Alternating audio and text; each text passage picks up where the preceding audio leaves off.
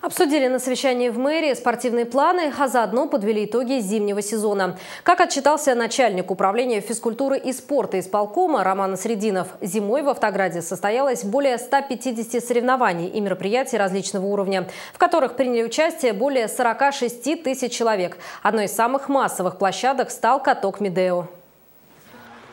По подсчетам специалистов, минувшей зимой более 92 тысяч челнинцев и гостей города встали на коньки на катке Медео. Подтвердили многолетнюю репутацию массового спорта и лыжи. Однако с наступлением весенне-летнего сезона начинается новая работа. Наряду с летними стартами в Автограде планируется появление новых спортивных площадок и кортов.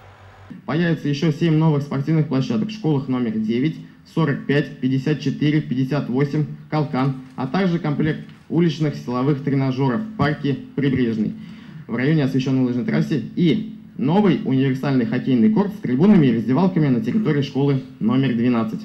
Сейчас в Автограде работают более тысячи спортивных сооружений, в том числе и на открытом воздухе. И в ближайшее каникулярное время площадки должны быть рентабельны, в первую очередь для подростков и молодежи. Наступает каникулярное время. Соответствующим образом активную работу нужно организовать в детских оздоровительных лагерях.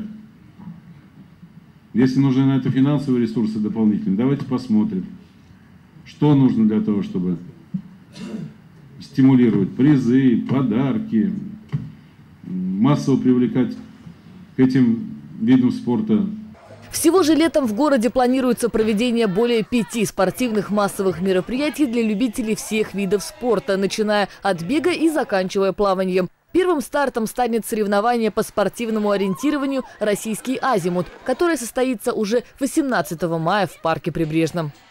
Виктория Евсеева, Любовь Захарова, Андрей Буслаков, Челны, 24.